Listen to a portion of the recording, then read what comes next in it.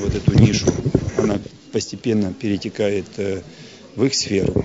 Ее надо заполнять. Естественно, внимание, естественно, какие-то там социальные, социальную поддержку и материальную, и льготы, может быть, по жилищно-коммунальному устройству. Поэтому, если мы это не настроим, вот этот механизм, то, естественно, все наши благие намерения по развитию Арктики, по развитию э, шельфа, э, они натолкнутся на вот, бездуховность, они натолкнутся на безверие.